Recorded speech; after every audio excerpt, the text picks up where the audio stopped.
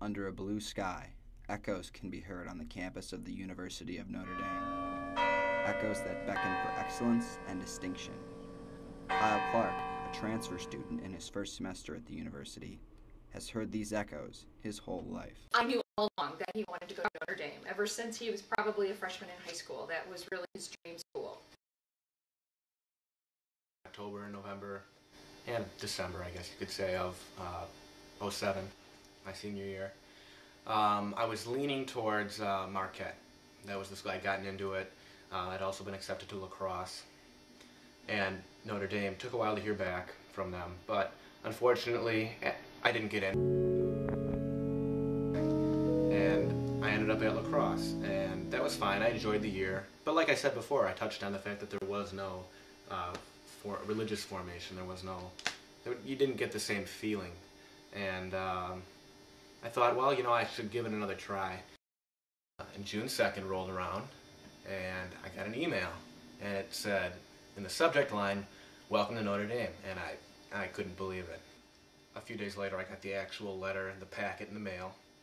Another, obviously, very thrilling thing to see it all in print, to see it all uh, official. But uh, unfortunately, you know, I had to read the fine print in the letter, and it said that because I did not take any math at La Crosse, where I was for my freshman year, I would have to complete, with at least a B in each, two college level math courses. We were, um, we really had to get our ducks in a row. We had to contact Marquette and get him in there and get all the books and get that taken, you know, all taken care of. And it was hard on him. He spent his whole summer at school, but it paid off because he, I think he got two A's in the class.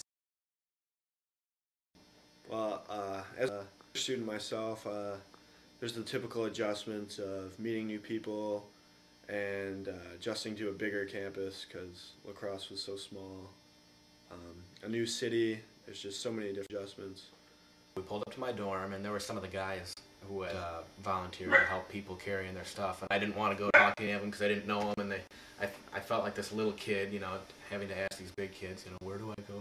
So I was very intimidated by that. I came here as a freshman, obviously, so when I came here, all the uh, other students here were new here as well, and they were kind of all in the same boat as me. And we had all sorts of freshman orientation activities and stuff, and we were kind of just figuring out the ropes together and forming friendships. And I think it's it's probably, I would imagine, harder for Kyle. It can't hurt to try. That's the, the whole motto of this experience. It cannot hurt to try. And sometimes, not only can it not hurt, can help.